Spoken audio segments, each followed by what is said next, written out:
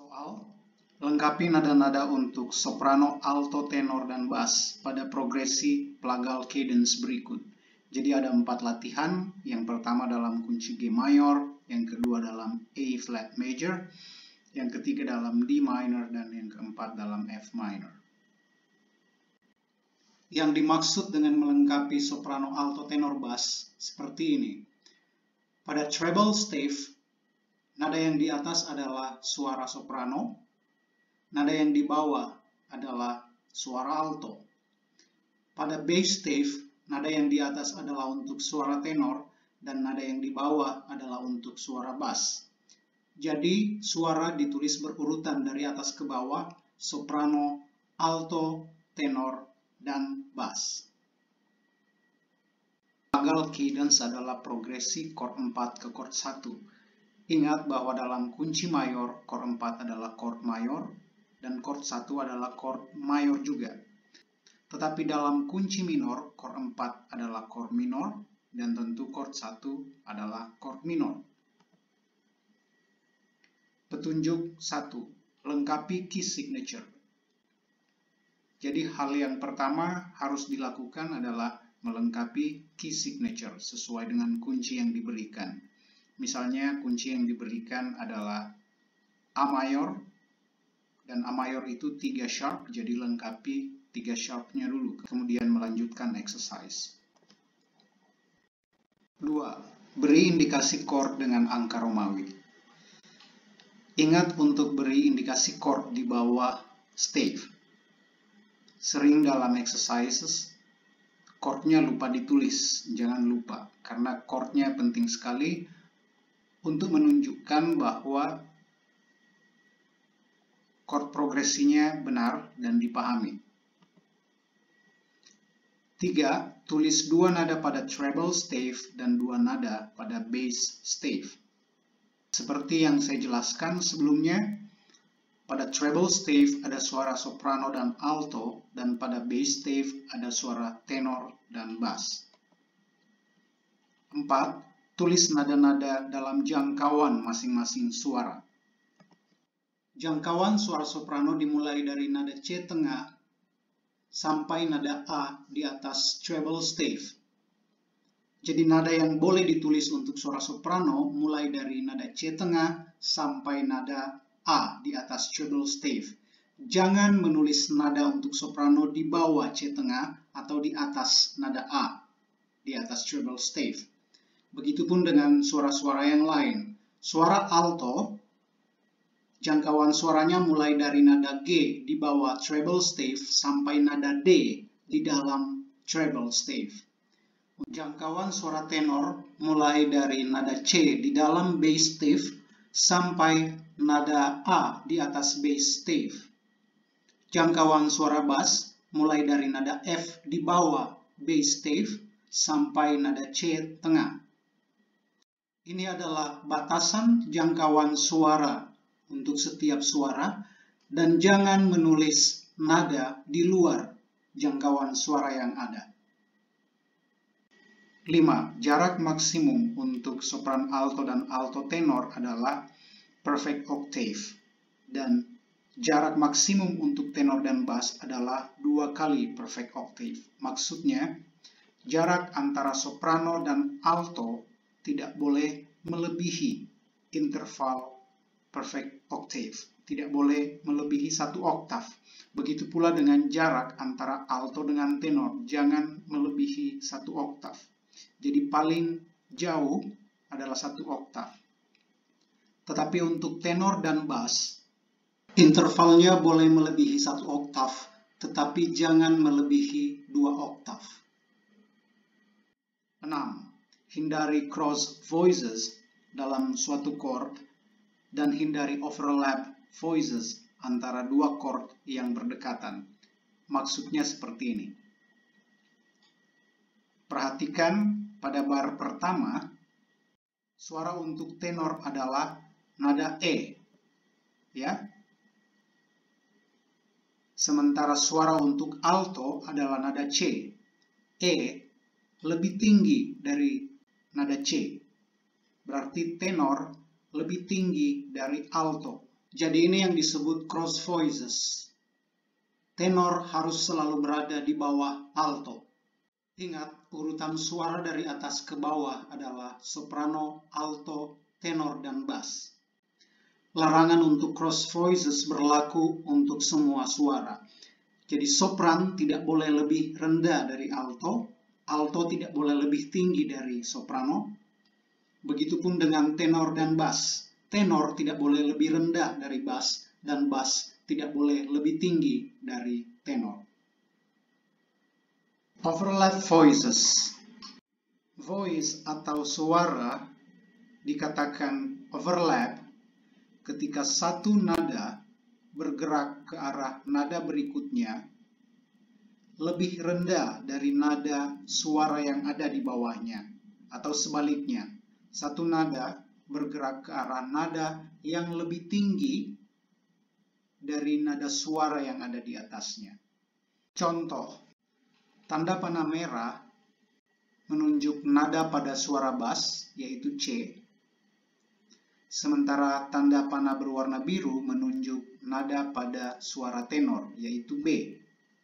Jadi perhatikan bahwa bass bergerak dari nada G ke nada C, sementara tenor bergerak dari nada B ke nada C. Apa yang terjadi di sini? Nada C dari bass lebih tinggi dari nada B pada tenor. Ini yang disebut overlap. Suara bass overlap dengan suara tenor. Karena nada bass pada chord kedua lebih tinggi dari nada tenor pada chord pertama. Dengan kata lain, nada bass lebih tinggi dari nada suara di atasnya, yaitu suara tenor. Larangan overlap voices ini berlaku untuk semua suara. Seperti untuk soprano dan alto, Nada soprano pada chord kedua tidak boleh lebih rendah dari nada alto pada chord yang pertama. Begitupun dengan suara alto dan tenor. Tetapi ingat, ini hanya berlaku untuk chord yang berdekatan. Jika chordnya tidak berdekatan, larangan ini diabaikan saja. 7. Lengkapi suara bass terlebih dahulu, kemudian soprano sesuai chord tones dengan arah pergerakan nada yang berlawanan. Jadi melengkapi bass terlebih dahulu, kemudian soprano. Dan ingat harus sesuai dengan chord tones. ya. Jadi kalau chord 1 misalnya nadanya adalah do mi sol, chord 2 re fa la, chord 3 mi sol si dan seterusnya. Kalau misalnya chord D mayor berarti nadanya adalah D, F crash, dan A, begitu seterusnya. Dan juga ingat bahwa pergerakan arah pergerakan nada harus berlawanan. Jika soprano arah pergerakan nadanya ke atas, maka bass arah pergerakan nadanya harus ke bawah. Begitupun sebaliknya, jika soprano ke bawah, bass bergerak ke atas. 8. Jangan mengulang melodi yang sama pada suara soprano. Jika pada latihan pertama suara soprano menggunakan melodi redo misalnya, maka pada latihan berikutnya di kunci yang sama, misalnya sama-sama kunci mayor, jangan gunakan melodi redo kembali, tapi harus cari melodi yang lain.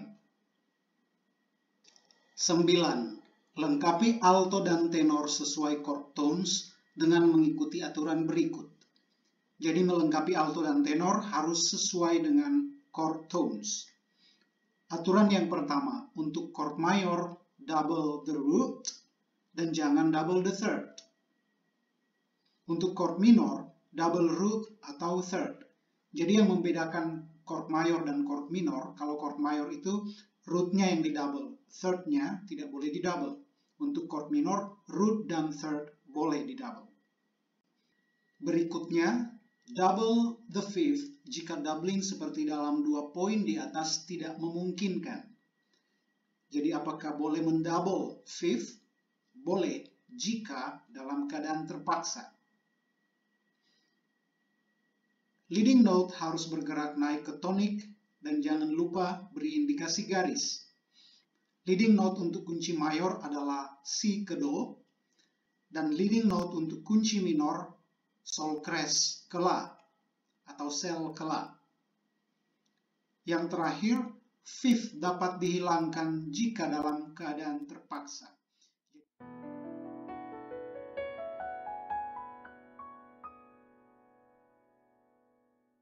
Saya akan memberi contoh dalam kunci F mayor, F major. Satu, lengkapi key signature. Key signature untuk F major adalah satu flat, satu mol, dua beri indikasi chord dengan angka Romawi. Plagal cadence 4-1, tulis dua nada pada treble stave dan dua nada pada bass stave. Jadi yang diminta menuliskan dua nada pada treble stave dan dua nada pada bass stave. Tuliskan nada-nada dalam jangkauan masing-masing suara. Perlu diketahui bahwa jangkauan masing-masing suara ini relatif dari satu buku ke buku yang lain tetapi tidak akan jauh berbeda. Paling beda satu atau dua nada lebih rendah dan lebih tinggi dari apa yang saya jelaskan tadi. Petunjuk nomor 5. Jarak maksimum untuk sopran alto dan alto tenor adalah perfect octave. Dan antara tenor dan bass adalah dua perfect octave. Maksudnya seperti ini misalnya soprano di sini, maka alto maksimal jauhnya dari soprano di sini. Ini satu oktav. Jangan menulis alto di sini, karena ini sudah lebih dari satu oktav. Berikutnya, jarak alto dengan tenor juga maksimal satu oktav. Jangan melebihi satu oktav. Khusus untuk suara tenor dan bass, Jaraknya bisa melebihi satu oktav, tetapi maksimal dua oktav. 6. Hindari cross voices dalam suatu chord atau overlap voices antara dua chord yang berdekatan. Maksudnya seperti ini, cross voices dalam suatu chord. Jika altonya tertulis di sini, maka tenor tidak boleh ditulis di sini. Karena jika ditulis seperti ini, itu berarti bahwa tenor lebih tinggi dari alto. Dan itu yang disebut cross voices. Yang dimaksud overlap voices, misalnya seperti ini. Contoh di sini ada bass, Kemudian ini ada tenor, chord 4 ya. Kemudian di chord berikutnya ada bass di sini. Kemudian di atasnya ada tenor. Ya, tenor di sini. Nada tenor ini overlap dengan bass yang di sini. Jadi bass ini tidak boleh lebih tinggi dari nada tenor sebelumnya. Ini yang disebut overlap. 7. Lengkapi suara bass terlebih dahulu, kemudian soprano sesuai chord tones dengan pergerakan arah nada yang berlawanan. Kita mulai dengan chord tones. Chord tones untuk chord 4 dalam kunci F mayor adalah B flat, D, dan F. Sementara chord tones untuk chord 1 dalam kunci F mayor adalah F, A, dan C. Baik, kita akan mulai dengan mengisi bass terlebih dahulu, kemudian mengisi suara soprano. Bass untuk chord 4 adalah B flat, jadi saya akan mengisi B flat di sini. Dan bass untuk chord 1 adalah nada F. Sekarang kita melengkapi soprano. Untuk chord 4, chord tones-nya adalah bemol, D, dan F. nada-nada ini yang kita bisa pilih untuk suara soprano. Saya akan memilih nada ketiga yaitu nada D. Kemudian suara soprano untuk chord 1 harus bergerak berlawanan dengan bass. Bass bergerak ke atas, maka soprano harus bergerak ke bawah. Dan not yang saya pilih adalah not yang dekat dari nada D, yaitu nada C. Baik, sekarang kita sudah menyelesaikan suara bass dan soprano. Berikutnya, lengkapi suara alto dan tenor sesuai chord tones dengan mengikuti aturan berikut. Untuk chord mayor double root, jangan double third. Untuk chord minor, double root atau third. Double fifth, jika doubling seperti yang saya sebutkan di atas itu tidak memungkinkan. Fifth bisa dihilangkan jika dalam keadaan terpaksa. Baik, kita akan melengkapi suara alto dan tenor. Kita perhatikan pada chord 4 sudah ada B flat dan ada D. Sementara chord tones untuk chord 4 adalah B flat, D, dan F. Jadi nada yang masih kurang adalah nada F. Pilihannya ada dua, bisa nada F di sini, bisa juga nada F yang di sini saya akan memilih nada F yang di sini. Setelah itu, kita menambahkan nada yang di double. Nada yang harus di double adalah root, karena ini chord mayor. Jadi root yang harus di double, B. Dan pilihan satu-satunya adalah di sini, B. Tidak ada tempat lain untuk B yang tersedia di antara bass dan alto kecuali B yang ada di sini. Chord tones untuk chord 1 adalah F, A, dan C. Di sini sudah ada F, ada C, yang masih kurang adalah nada A. Pilihannya ada dua, nada A-nya bisa di sini atau di sini. Dan saya memilih nada A yang di sini. Jadi chord tones-nya sudah lengkap. Sekarang tinggal menambahkan nada yang di double. Dan nada yang di double adalah nada F root dan tempat satu-satunya adalah di sini F. Oke, jadi kita telah menyelesaikan menulis empat suara untuk plagal cadence pada kunci F mayor. Dan bunyi chordnya seperti ini.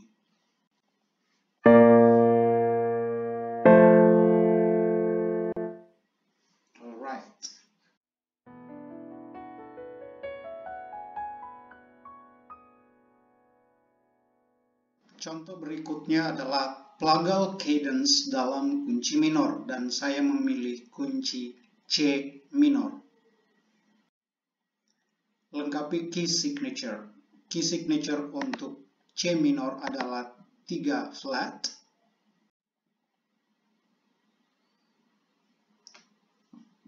Dan kita tahu bahwa 3 flat ini juga adalah kunci dari E flat major. Mengapa key signature-nya sama? Karena C minor adalah relatif minor dari bemol mayor. Karena ini dalam kunci minor, maka chordnya juga kita ganti sesuai dengan kunci minor. Dan kita tahu bahwa dalam kunci minor chord 4 itu bunyinya minor. Bunyinya adalah re fa la, ya. Dan chord 4 ini kita ganti minor kita memakai Romawi yang kecil. Begitu juga dengan chord 1. Chord 1 dalam tangga nada minor itu La Do Mi. Jadi kita ganti dengan Romawi kecil. Jadi kita sudah melengkapi key signature, kemudian memberi indikasi chord dengan angka Romawi. Tiga, tulis dua nada pada treble, stave, dan dua nada pada bass stave. Seperti biasa, kita menulis dua nada di treble, stave, dan dua nada pada bass stave. tulis nada-nada dalam jangkauan suara masing-masing. Seperti yang saya jelaskan di depan, jadi suara soprano harus ditulis dalam jangkauan suara soprano, jangan di luar dari jangkauan suara soprano, begitupun suara alto, tenor, dan bass. 5. Jarak maksimum antara soprano, alto, dan alto tenor adalah perfect octave, dan antara tenor dan bass adalah dua kali perfect octave. Jadi sopran dan alto jaraknya jangan melebihi uh, satu oktav.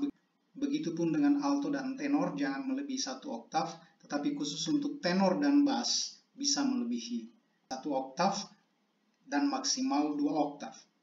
Hindari cross voices dalam satu chord dan overlap voices antara dua chord yang berdekatan. Itu harus dihindari.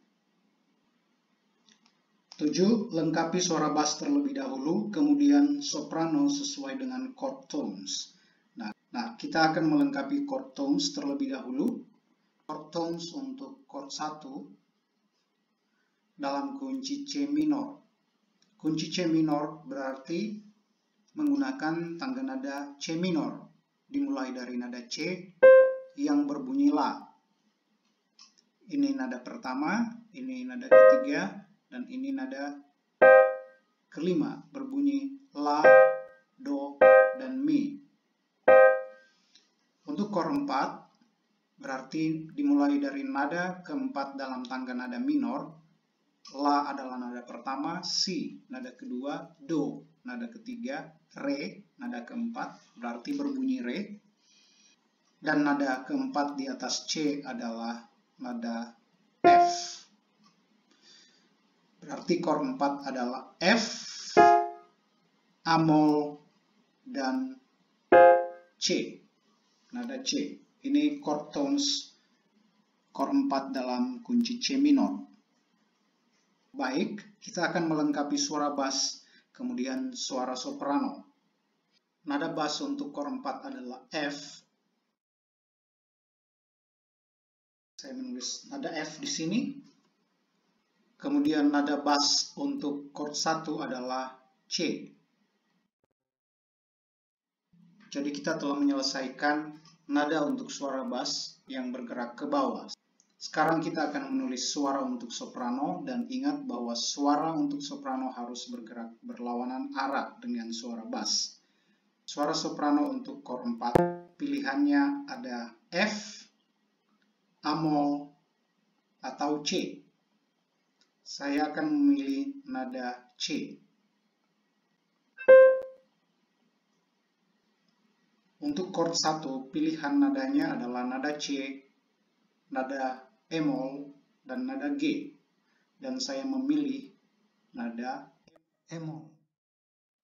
Jadi kita sudah menyelesaikan suara bass dan soprano dengan pergerakan nada yang berlawanan. Berikutnya kita akan melengkapi suara alto dan tenor sesuai dengan aturan-aturan yang berlaku. Untuk chord 4, yang chord tones-nya adalah F, Amol, dan C, kita sudah memakai nada F, sudah memakai nada C, berarti nada yang belum dipakai adalah Amol, dan saya memilih Amol di sini. Nada berikutnya adalah doubling. Dalam kunci minor yang boleh didouble adalah root atau third. Jadi yang boleh didouble untuk chord 4 dalam kunci minor adalah root atau amol. Untuk chord 4 saya akan mendouble root. Jadi yang saya double adalah F. Untuk chord 1 chord tones-nya adalah C, E-mol, dan G. Kita sudah memakai nada C, juga nada E-mol. Jadi kita tinggal memakai nada G. Ya. Saya akan memilih nada G di sini. Jadi semua nada sudah lengkap. ada nada C, ada E-moll, dan ada nada G. Yang kita butuhkan sekarang adalah nada yang di double. Ingat, ini adalah chord minor, dan untuk chord minor yang boleh di double adalah root atau third. Nah, kali ini saya akan mencoba doubling the third. Jadi the third, third-nya yang saya akan double yaitu E-moll. Dan saya akan menaruh E-moll untuk suara tenor. Nada E-moll untuk suara tenor di sini ada dua pilihan tempat. Pilihan pertama yaitu dua garis bantu di atas bass stave atau E-moll yang ada di sini. Oke, nah saya memilih E-moll yang ada di sini. Alright, empat suara sudah selesai, suara sudah lengkap, tapi coba perhatikan baik-baik. Apakah hasil pekerjaan saya baik atau tidak? Ingat bahwa ada aturan dari cross voices dalam suatu chord atau overlap voices. Oke, okay. cross voices tidak ada, tetapi coba perhatikan. Ada overlap voices. Coba kita perhatikan. Ini adalah nada untuk tenor dan ini adalah nada untuk tenor. Masalahnya, nada tenor ini lebih rendah daripada nada bass. Dan ini yang disebut overlapping. Suara tenor tidak boleh lebih rendah dari suara bass dalam dua chord yang berdekatan. Ini dua chord yang berdekatan dan tenor suaranya harus lebih tinggi dari bass, tidak boleh lebih rendah dari bass. Itu berarti bahwa nada E di sini tidak tepat dan kita harus menggantikannya dengan nada E yang ada di sini. Oke. Okay? Baik, empat suara sudah selesai dan bunyinya seperti ini.